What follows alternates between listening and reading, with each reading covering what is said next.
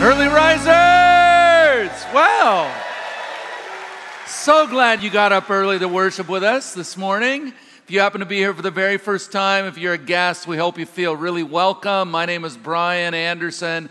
I'm one of the pastors here at the church. And probably the most important thing that I want to say this morning is Happy Mother's Day to all you moms out there. So glad you're here. I hope you get a free family photo while you're here. You know, in honor of moms, we've uh, put together a short little video that we want to show you. So let's go ahead and run that video right now. We are moms who are pouring ourselves into our children every hour of every day. We are grandmothers who are also playing the role of primary caretaker. We are moms who are waiting to have children and trying our best to see the struggle through the eyes of God. We are moms who are learning the challenges of a blended family.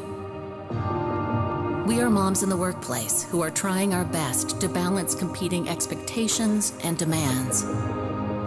We are moms with adult children who are leaving our homes to pursue their own dreams.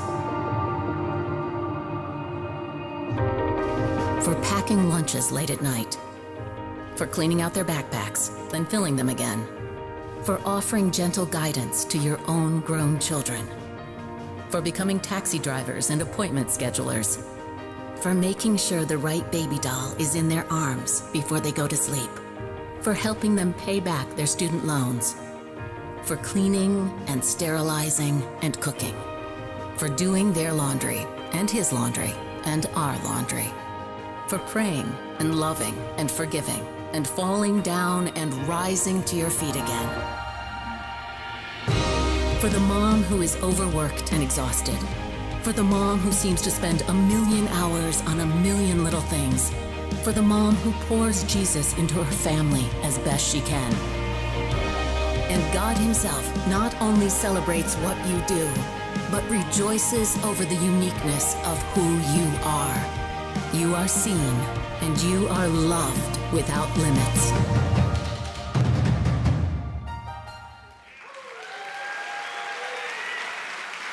That is so true, moms. You are loved without limits. You are loved without limits. Hey, uh, this is Eddie Hyatt, and I've asked Eddie.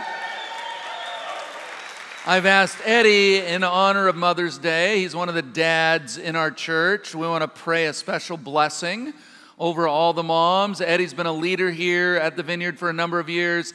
And also, we've just hired Eddie to be our newest pastor on staff. So he'll be starting uh, in a few months, about the beginning of August or so. So, could all the moms please stand right now?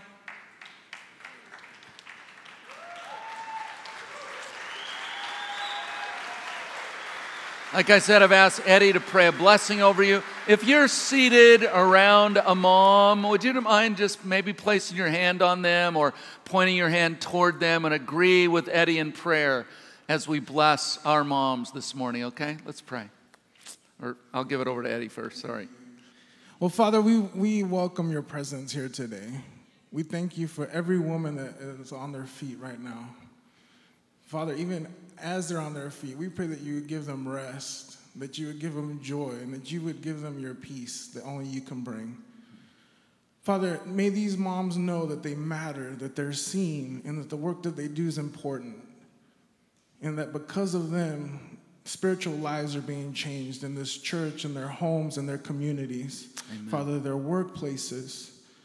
So, Holy Spirit, come and empower them with whatever plan you have for them. May these women, may these mothers break through with your kingdom just being brought forth. Jesus, we pray that they would continue to make much of you in all that they do. So, as a church, we bless them, we honor them, and we lift them up to you, Lord.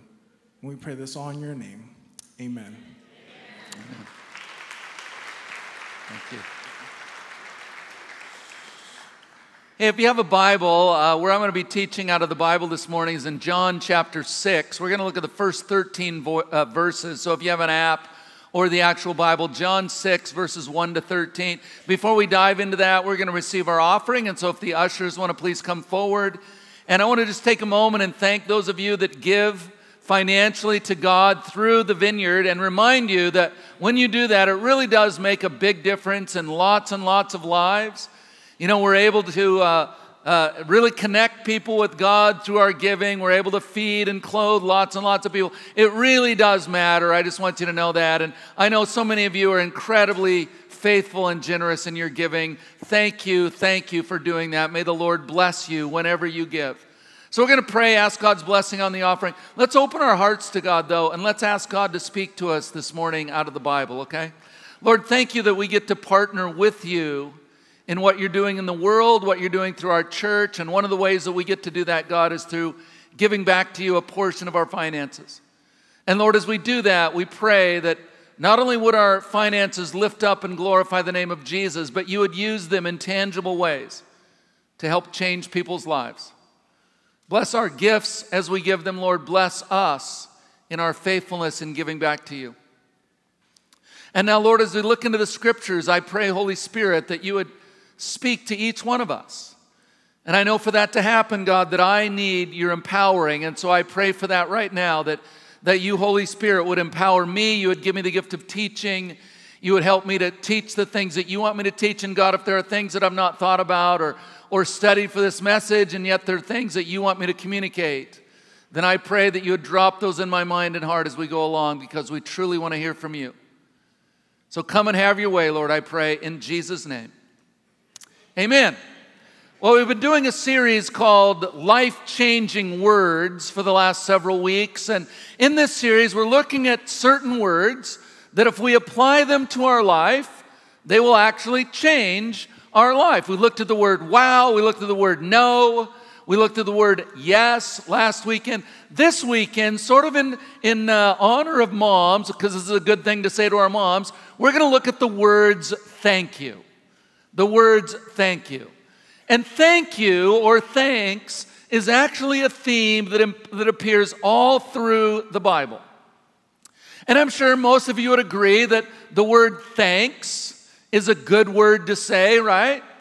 It's a good word for us to live by. In fact, those of you that are parents, probably one of the first words that you taught your children were the word thank you. The words thank you or the word thanks. You know, thank you is polite, isn't it? Thank you is proper.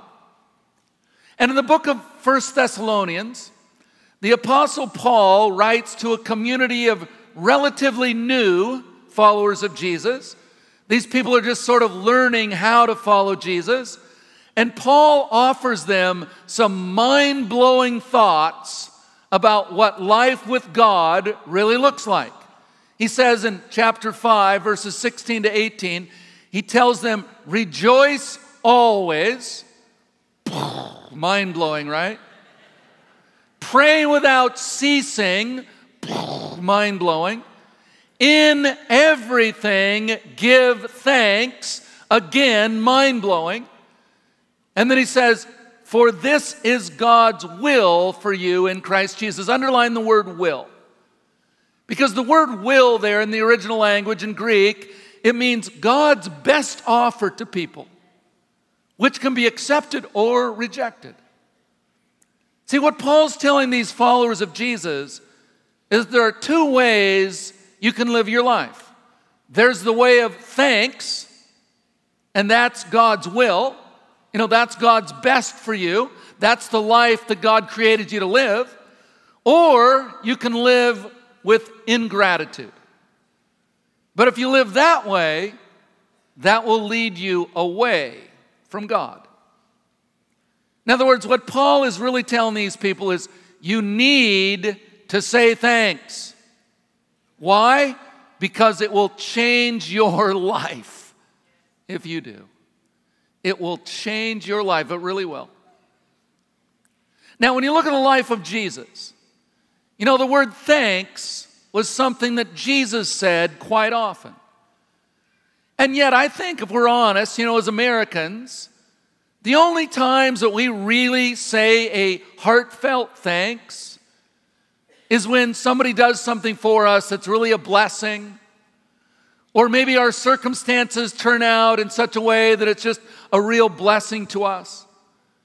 But if you look at the life of Jesus, you'll find that he said thanks at some very, very unlikely times. For example, the night before Jesus was crucified, knowing that he's going to have to endure great pain, knowing that he's going to have to deal with an incredibly painful, torturous death in just a few hours, we read that Jesus takes the bread, like we did a short time ago, and the first thing he does is he gives thanks to God the Father for the bread. And then he breaks it and he gives it to his disciples. I mean, the night before his death, Jesus was giving thanks. Another time, a really close friend of Jesus, his name is Lazarus, he had just died. And we're told that he'd been in the, in the grave, he'd been dead for four days. And Jesus is so upset by this news that the Bible says that he weeps about it. But then he does something that you might not expect. He prays, which we might expect, but the first words out of his mouth in his prayer are these Father, I thank you. I thank you that you have heard me. I'm in the wake, in the wake of a very painful loss. We see Jesus giving thanks. Some of you might know the name Dietrich Bonhoeffer. Bonhoeffer was a German pastor and a theologian who lived during the World War II era. And Bonhoeffer strongly opposed the atrocities that were being committed by the Nazis against the Jews. And in 1943, Bonhoeffer was arrested because of his opposition to Hitler and his opposition to what the Germans were doing to the Jews. He ended up spending a year and a half in prison before being transferred to a concentration camp. And he was executed in that concentration camp a short time earlier. But Bonhoeffer did some of his most profound writing while he was in prison. And one such reflection included this line that I love. He says this It's only with gratitude that life becomes rich. It's only with gratitude that life becomes rich. Would you say that out loud? It's only with gratitude that life becomes rich. That is so true.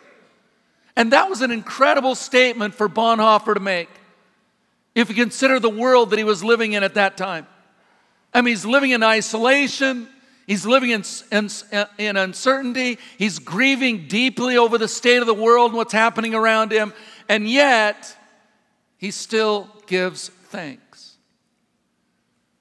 Let me ask you are you someone who gives thanks? Are you someone who really tries to live a grateful life? You know, remember, Paul says, in everything, give thanks. For this is God's will for you in Christ Jesus. Now, I want to point out, he does not say for everything, give thanks. There are a lot of things that happen in this world that are not God's will. You know, there is another team playing on the, on the field.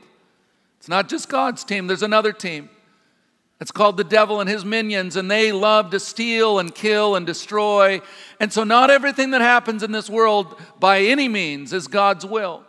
So, we don't thank God in every, I mean, for everything, but we can thank Him in everything.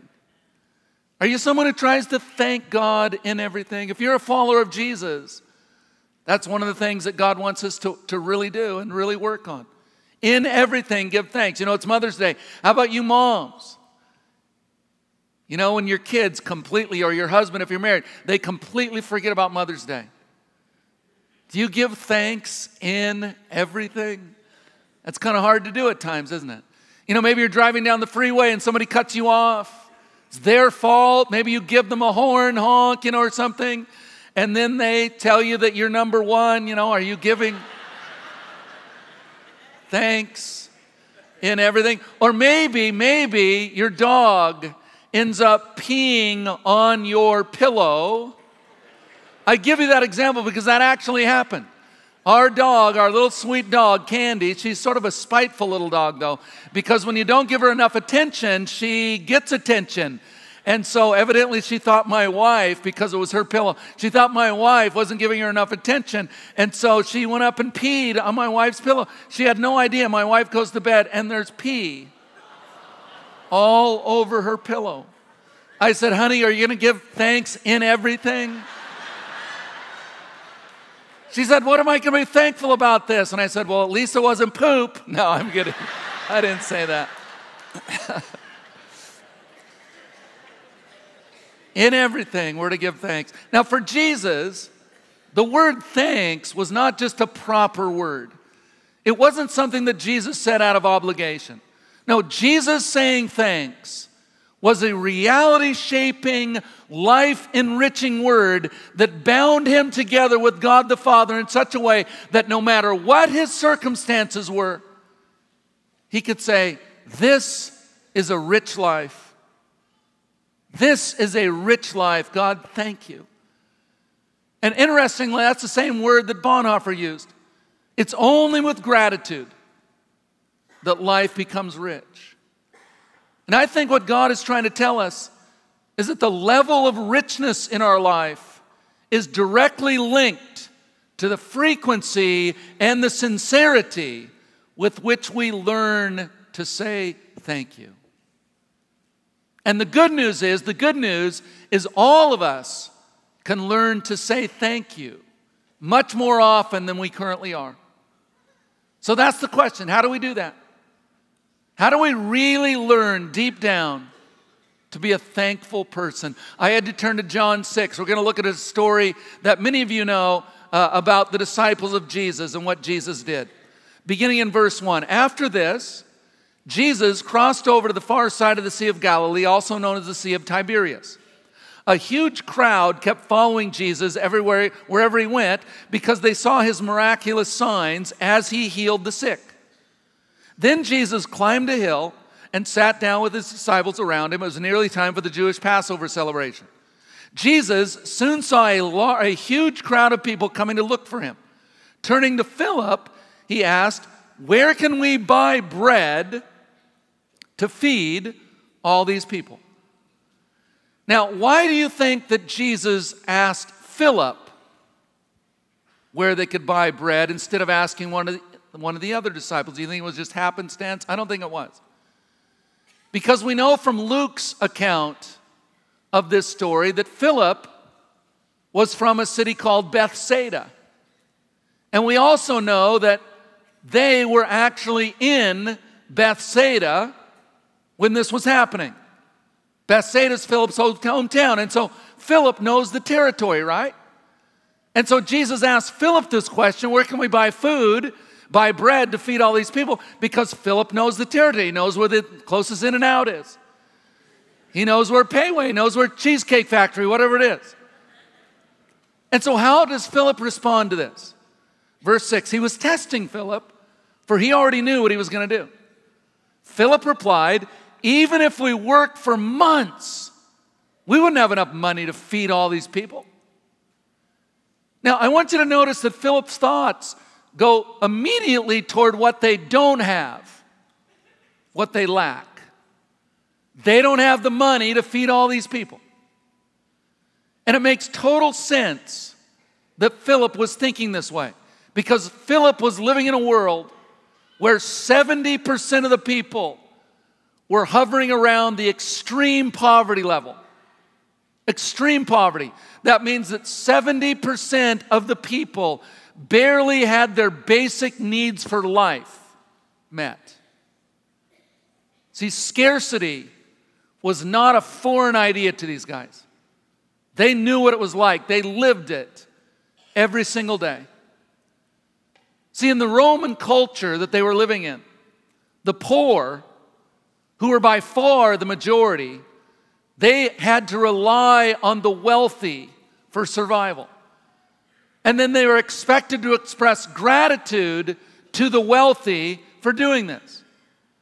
But really, it was just one of the ways that the Romans could make sure they, they were able to keep the poor in their place. It was one of the ways the Romans maintained social order. But this cultural norm perpetuated certain ways of seeing the world. You know, the wealthy, they thought that they were entitled to what they have. They thought that they weren't indebted to anyone. And that's really something that I think a lot of wealthy people can easily fall into. And by the way, we as Americans, we're in the top 95% of the wealthiest people in the world. If you're buying a house, you may not picture yourself as wealthy, but when you compare to the rest of the world, you're in the top 3% of the wealthiest people in the world. And one of the things that's easy to fall into is feel like we, we deserve this. We're not indebted to anyone. You know, we're not as grateful as probably we should be. We're entitled. But the poor, you know, they lived in that culture, they lived with this sense of indebtedness and indebted to the wealthy. And so that's the world that Philip lives in. I mean, you don't buy bread for thousands and thousands of people when you don't even have enough money to buy bread for yourself and for your family. And you don't borrow that kind of money either, because then you'd be in debt for the rest of your life. So Philip is just giving Jesus the normal answer that everybody would, would expect. This ain't gonna happen. We don't have enough money. And yet, and yet, Andrew, another one of the disciples of Jesus, he's standing right there and he has a different read on the situation. Same circumstance, but Andrew sees something different. Look at it says in verse 8. Then Andrew, Simon Peter's brother, spoke up. There's a young boy here with five barley loaves and two fish. But what good is that with this huge crowd? See, I want you to notice the difference in the experience of these two disciples. Philip sees only want, Andrew begins to see wonder. Andrew begins to see possibility. But the truth is, most of us, most of us, we almost always default to want, to what we don't have, instead of trying to embrace wonder, trying to embrace possibility. And this want can take on all kinds of forms. You know, for Adam and Eve, it took on the form of wanting the fruit from the one tree in the entire Garden of Eden that God said they could not eat from. Instead of basking in the wonder of all the other stuff that God had provided in the Garden of Eden. Now, for some of us, I think want takes on the form of continually comparing ourselves with other people. You know, comparing what we have with what others have, and that produces want inside of us because the truth is, you always find something, somebody who has more than you. In whatever area you're going to compare, somebody always has more. They have more money, they're better looking, except for, you know, me, but. for those of you that are new, I'm joking, okay? Uh, they have a better house, they have a nicer car, they're you know more in shape whatever you're comparing. We always find people that are better. Comparison it always leads to want. It's a terrible habit that all of us need to break. Comparison always leads to want. Say that out loud. Comparison always leads to want. Now turn to your neighbor and say so don't do that don't do that, all right? Don't compare. It leads to want. Now, I also want you to notice that the Apostle John, when he's writing this, he includes some very specific details about the nature of the bread and the nature of the fish in this little boy's lunch. First thing he says that the loaves of, of bread in this kid's lunch are made out of barley. And then it doesn't say in John's gospel, but one of the other gospels, it says that these fish are very small. And those details are actually significant to us as the reader. See, in that day, the cheapest of all breads was barley bread. See, barley was a poor man's bread. And John put that detail in to make sure that we understood this lunch was from a poor kid. And then there's the detail about these two fish being very small.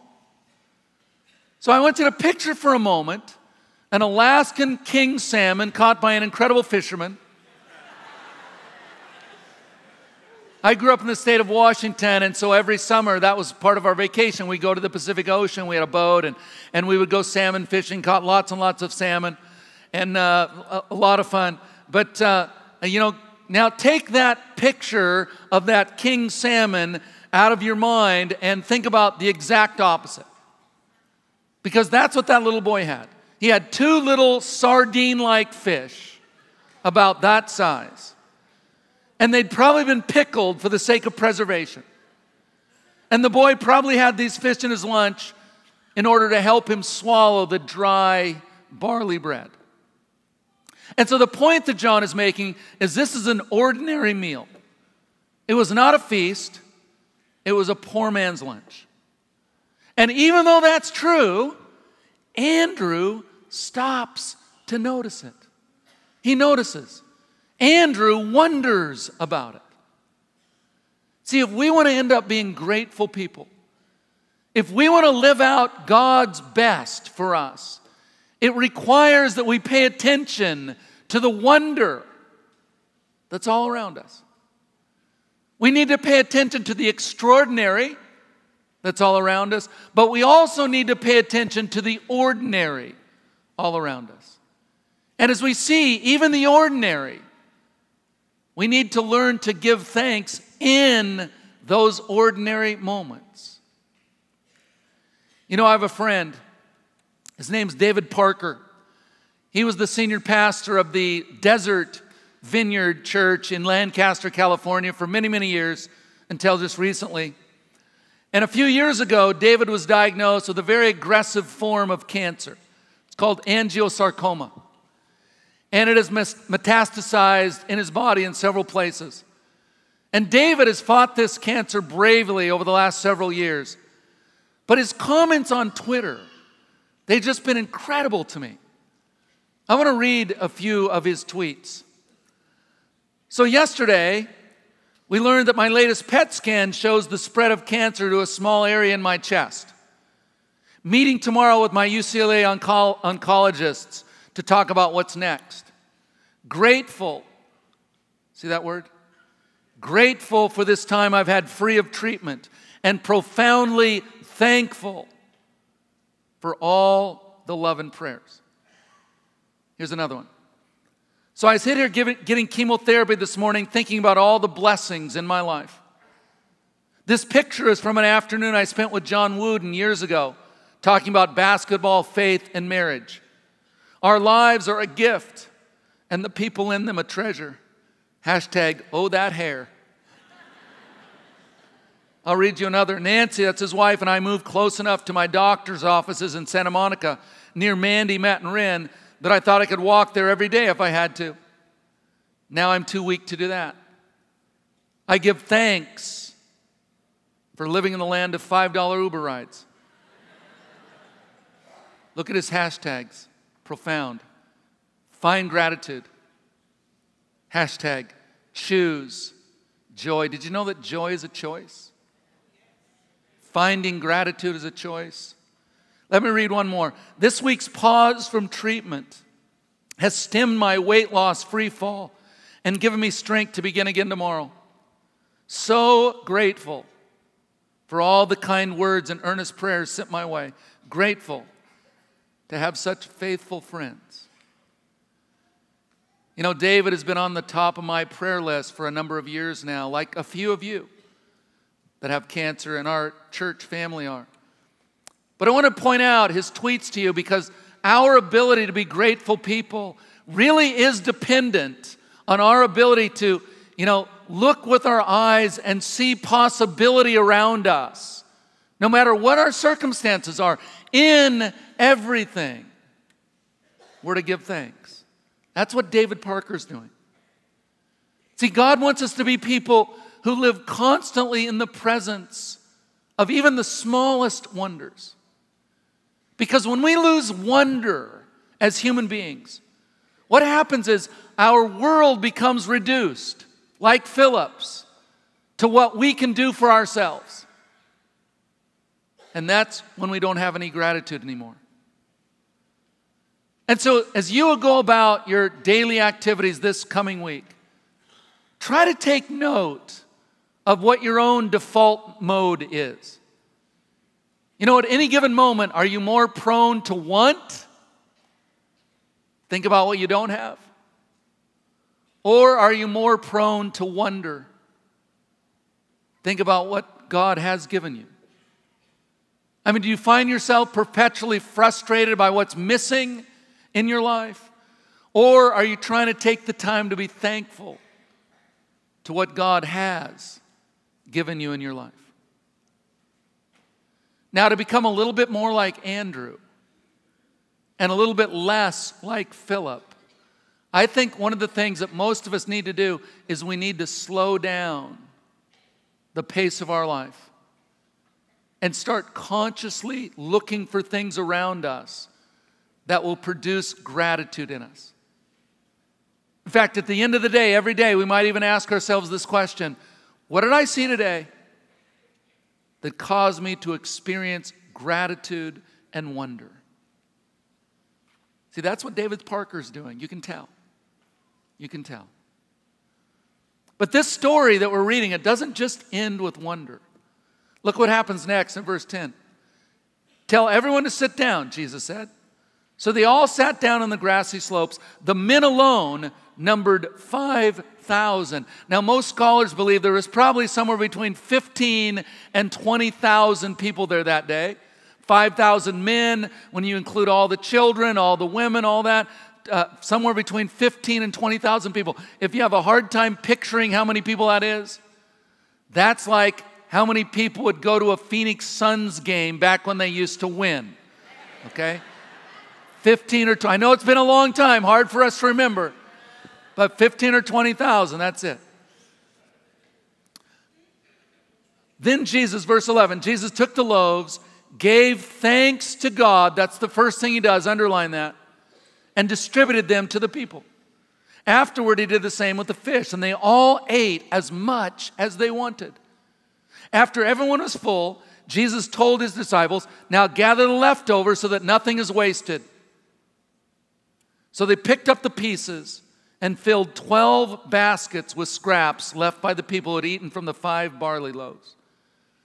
So the first thing Jesus does is he takes these five loaves and these two fish, and he offers them up to God and he gives thanks to God for them. Now, I don't know about you, but if that were me, I think I would have waited to give thanks until I'd started passing them out and see what's going to happen because I wouldn't want to be embarrassed. But that's not the way Jesus does it. And again, this is another one of those unconventional giving of thanks by Jesus. He gives thanks to the Father first, and then he breaks out the bread and the fish, and he starts passing them around. Now imagine if you were in that crowd, and imagine if you were sort of toward the back, and you see this commotion that's kind of going on up front, and you see that it looks like some food is being pushed around, you know, being given out. And you're like, man, that's amazing. Would there ever be enough for me? Do you think that little bit would last all the way back here to me? And then miraculously it does. The bread and the fish never run out. In fact, the more people eat, the more there seems to be.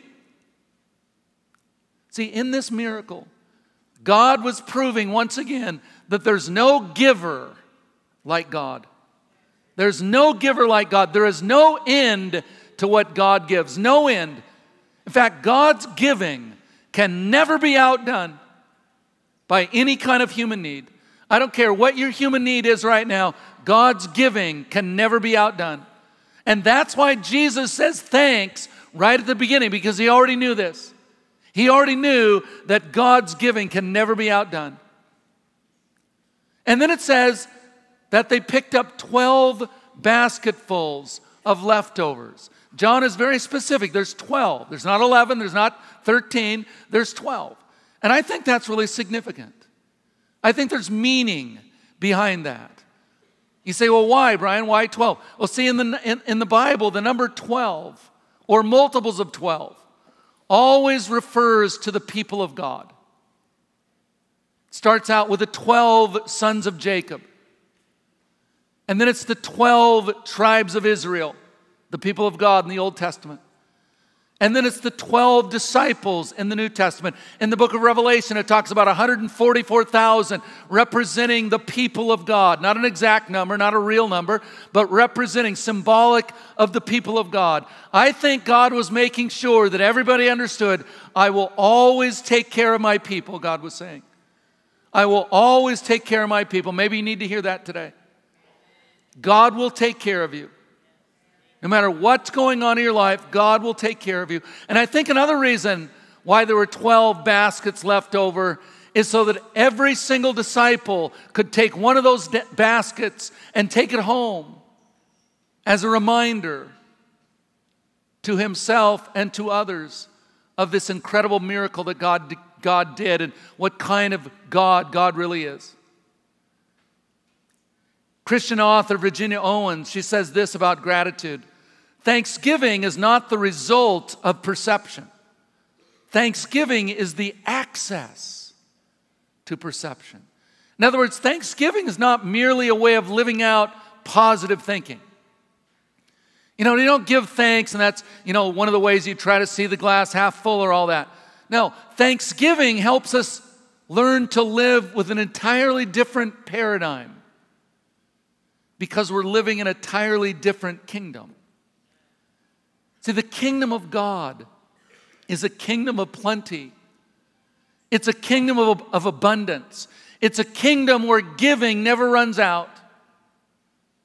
And on that day, on that hillside, Jesus used the bread and the fish to make a profound statement about what his kingdom really looks like and about the kind of king that he really is. And the more that you and I learn to live with the word thanks, the better we come to know God's kingdom and the better we come to know Jesus as the king. Now, at the end of John chapter 6, Jesus makes an incredible statement of verse 51. He says this I am the living bread that came down from heaven. Anyone who eats this bread will live forever. Anyone, anyone. And this bread, which I'll offer so the world may live, is my flesh. Now, I don't know what the circumstances are in your life right now. I hope, as your pastor, I hope. I hope that everything in your life is up and to the right. I hope that you're healthy. I hope that your finances are great. I hope that every relationship in your life is perfect. I hope that's the case, but I know there's a whole bunch of you here that your circumstances are the complete opposite of that. You know, when your circumstances are great, it's really not that difficult to find gratitude to God, is it?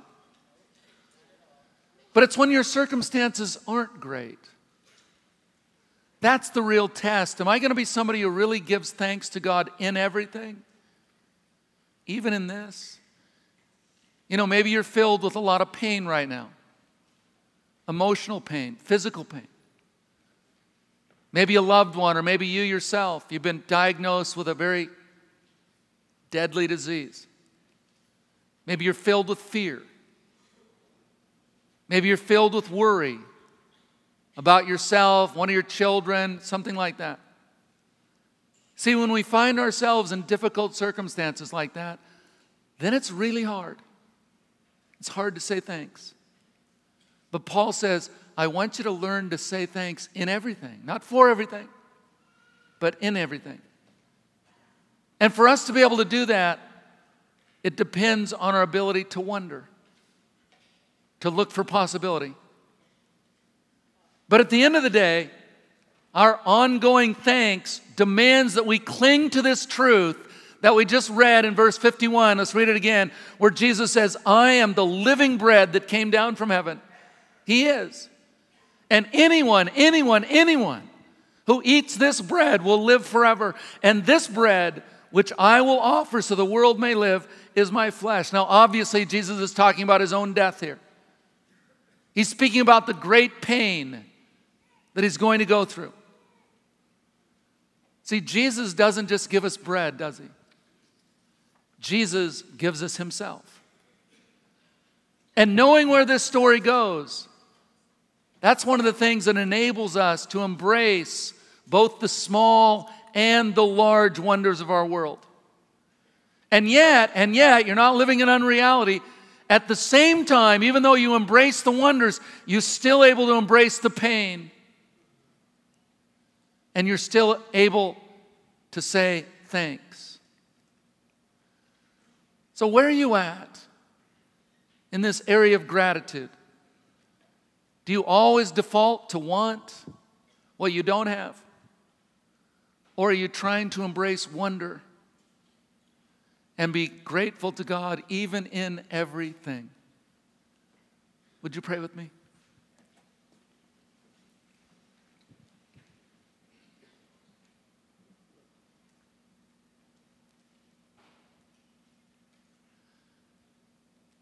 You know, just as we're in an attitude of prayer, I I'm going to pray in just a moment, but, you know, I think that there are some of you here that have some really dire circumstances.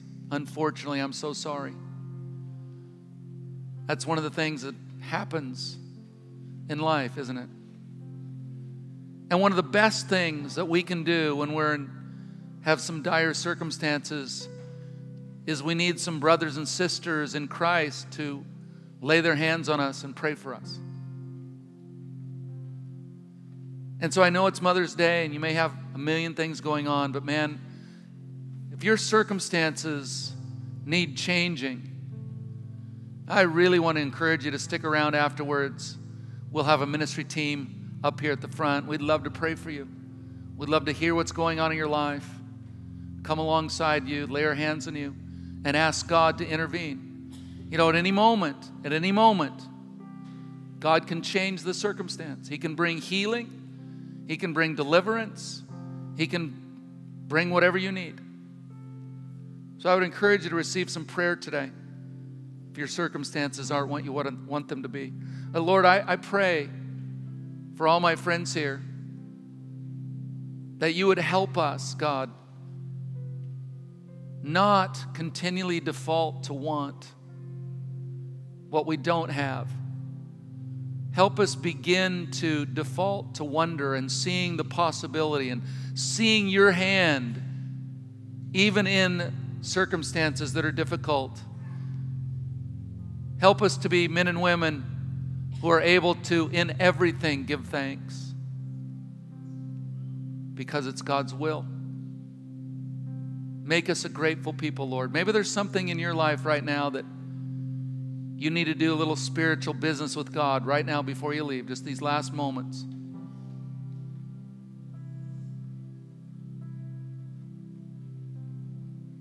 You know, maybe it's about the comparison thing. Maybe you're one who's continually comparing. I'm telling you, you'll never be a grateful person. God, help me. Would you break the power of comparison over me? And continually doing that.